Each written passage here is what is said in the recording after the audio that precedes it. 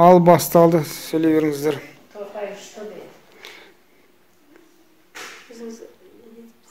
Ал ассалаумағалейкум қазақ елі мынау алматы тобының осы ата жолына келген ата жолы қандай рухани азық беріп жатқанын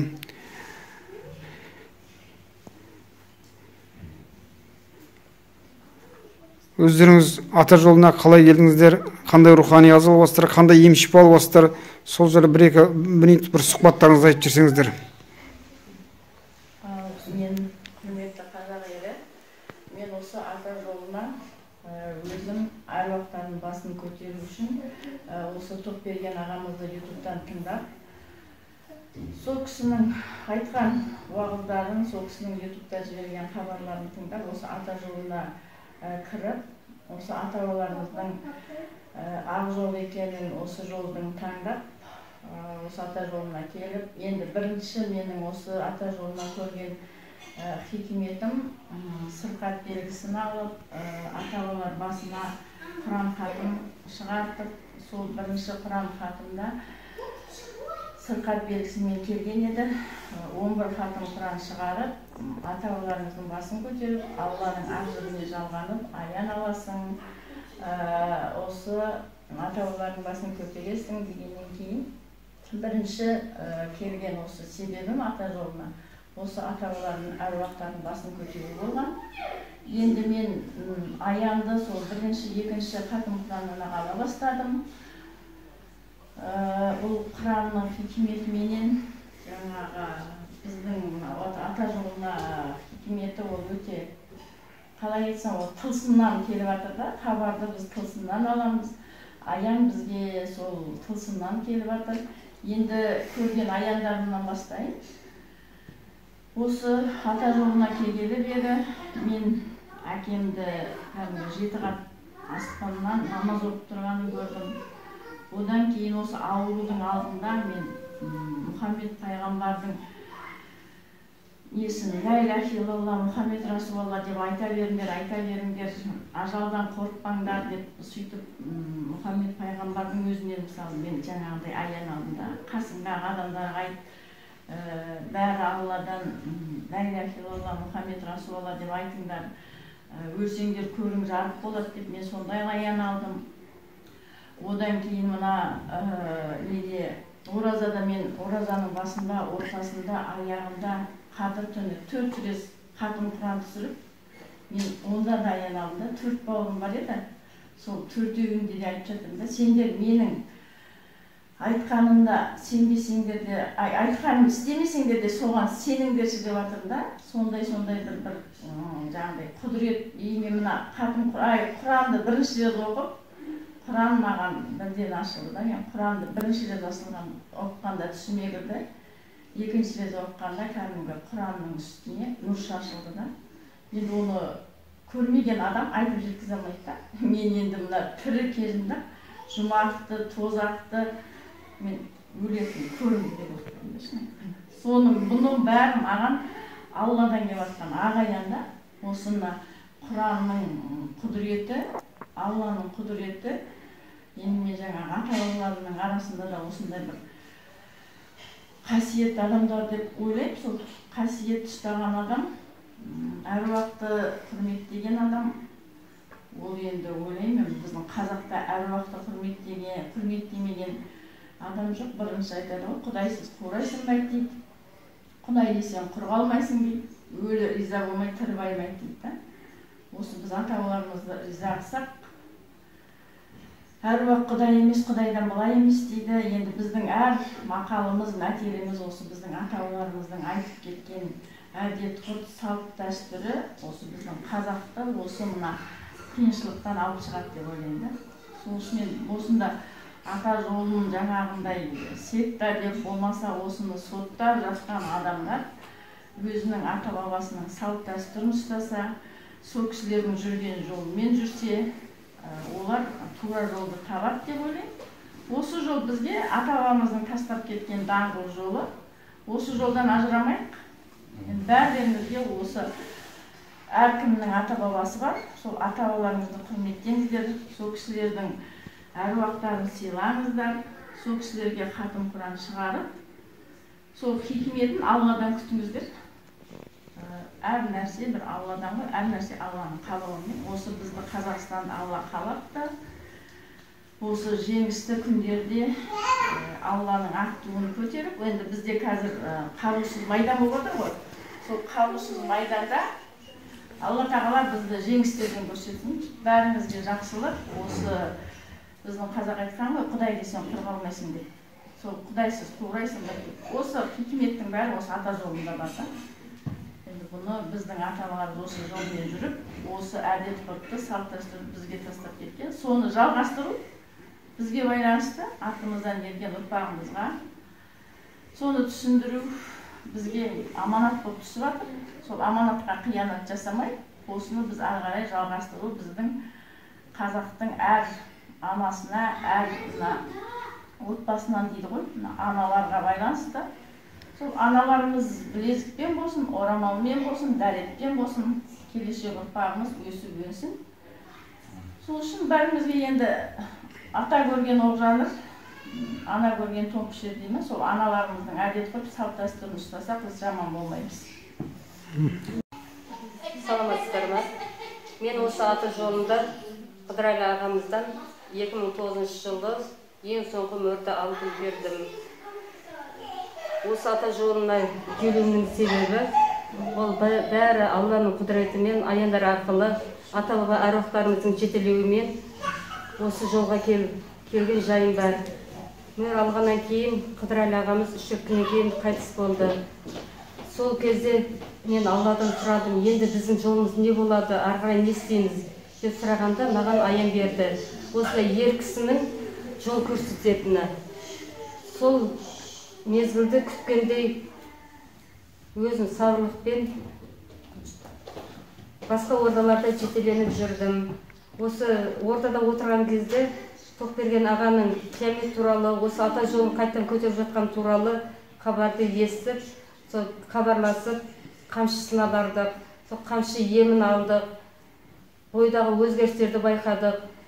Ағаның алдына барған кезде ең алдымен бізге талап қойғаны бізге киімді түзулеу керек. Ауырмас бұрын аурудың емін өздерің сақтық жасауларың керек. Ол үшін киімді толық киініп бастан орамал түспей аяққа мәсі болып мына бойымыздағы өрісімізді толығымен жабық ұстап өзімізді бойымыздағы керек емес нәрселерді осы киімдер арқылы шығарып бойымызға жылулық беріп осы киім арқылы көп ем жүретінін бізге түсіндірді. Және де тамақ істеген кезде қолда білезік болу керек одан кейін жүзік болу керек. Сол жағында бізге түсіндіріп көп жолдарын көрсетті. Мына дүниелік байлықпен қоса адамға рухани байлық керек екенін қазір халықтың көбісі рухани байлықтың не екенін жанымызға тәнімізге не керек екенін білмейтінін соны бізге түсіндіру арқылы біз соны өзіміз орындау арқылы көп нәрсеге көзіміз жетіп енді халыққа өзіміз соны айтып түсіндіру сондай дәрежеге жетіп осындай жол сұраған қиыншылыққа түскен қиналған пенделерге көмектесіп бұның бәрі ата баба әруақтың қолдауы арқылы болатыны қазақ халқының жеті ата бабасына шейін жаңағы құран хатым арқылы құрбандық арқылы әруақтарын көтеру арқылы тектілікке жалғанатыны сол туралы бәрін тоқберген ағамыз бізге түсіндірді. Көптеген зікірлер арқылы құран оқу арқылы өзіміздің бойымыздағы өзгерістіктерді байқадық. Құран үніне жалғанудың не екенін аян алудың не екенін түсіне бастадық. Сол аяндар арқылы іс әрекет жасауға кірісе бастадық. Қазіргі таңда қазіргі таңда жанымызбен қоса жанымызға рухани байлық жіберсек тәнімізге киімді жабу арқылы арымызды жабу арқылы осы сақтанып екі дүние екі дүниенің нығметін қатар алып жүру керек екендігі осыны халыққа да айтып бізде соны түсінсе екен білсе екен баратын жеріміз алланың алды болғаннан кейін ол жақты да ойлап осы сақтық жұмысын қазірден әрбір күнімізді босқа өткізбей әрбір ауыздан шыққан сөзімізді дұрыс сөйлеп кейінгі ұрпаққа үлгі өнеге қалдырып өзімізден бастап бұрынғы ата баба, ата баба әжелеріміздің бізге қалдырып кеткен осы ата дәстүрімізді ары қарай жалғастырып соның өнегесін көрсетіп ары қарай сол жолды біз алып кетсек деген ниетпен осындай іс шараларға қатысып отырмыз. Және барынша осындай адасып жаны қиналып тәні қиналып келе жүрген адамдарға жол көрсетіп оның жолдарын көрсетуге әрқашан дайынбыз. Адамға жетілу үшін мынау ойды миды жетілдіру үшін адамға білім керек. Және абай шәкәрім мәшһүр жүсіп аталарымыздың оқуы арқылы бұл өмірмен жалған өмір мен ақыреттің айырмашылығын ажыратып керекті дүниелерді рухани байлықтарды жеп өзіміздің бойымызды сол құран арқылы соны даналы сөздер арқылы маңдай көзімізді ашып жақсылыққа жететінімізге көзіміз жетті. Осыны халыққа уағыздап сіздер де осындай әрекет жасаңыздар дегім келеді. Және қамшы емі арқылы сыртқы өртімізді тазалап бойымызға нұр жинап әулиелі жерлерден барып нұр алып ол жердегі жұлдыздарға жалғанып ұрпақтан ұрпаққа өзіміздің жақсы өнегелерімізді қалдырсақ қол өнерімізді дамытсақ ою өрнек киізден жасалған киізден текеметтер жасау арқылы сондай қолымызды да іске қосып барлық шараларды өзіміз жасасақ қазақ елі көркейіп осы адасып жүрген халық қайтадан жақсылыққа кенеліп еліміз бақытқа кенеледі деген ойдамын. Енді ата жолы енді алғаш келгенде енді қазір рухани азылбас ең дұрыс енді құранда бойынша әуретті жауыңдар деген аяты бар. Сондықтан киімді дұрыстап ауырып ем іздегенше ауырмайтын жол іздеп таптыңыздар иә ата жолдың арқасында? Иә бұл ата жолына кигелі өзіңді киінгелі өзіңді қорғанды жақсы сезінесің. Елдің бетіне тіке қарайсың бойыңды тік ұстайсың өзіңе деген сенімділік пайда болады. Киім кигеннен кейін сыртқа деген көзқарасың жақсы мен жаманды ажырата бастайсың және өзіңе деген салмақтылық пайда болады әдептілік пайда болады. Сұқ көз бен тіл көзден қорғайды. Тіл көзден сұқ көзден басқа жаман ой арамды көздерден сақтайды. Өзінің нәзік әйел жанды екеніңді сезінесің. Тікелей айтқанда алланың парызын орындап иә алланың парызын орындап жатырмыз. Және де айтарым осы осындай бізге хикметті көрсетіп жолды көрсетіп бағыт бағдарды көрсетіп отырған тоқберген ағамызды осындай алауыздық деп қиыншылыққа салып оның жолына кедергі болып жатқан адамдарға өкіметтегілерге дұрыс шешім үкімет тарапынан бұл тірліктері өте ұят нәрсе.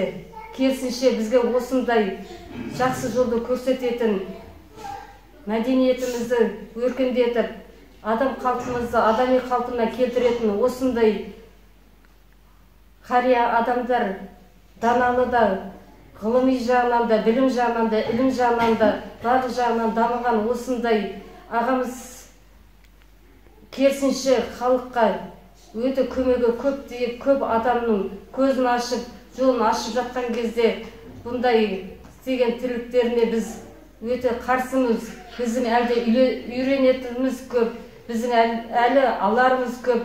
Бізге керісінше осы тоқберген ағаның жолын ашып беріп осы жолымызды ата жолын бақ жолы етіп нықтап бізге жолымызды айқара ашып берсе бізді қолдаса сіздер қолдасаңыздар өкімет басшылары қолдаса басқа шет елдер біздің жолымызды қуып біздің осы қасиетті жерімізді қадірлеп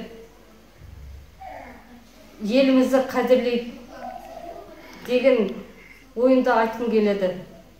Рахмет.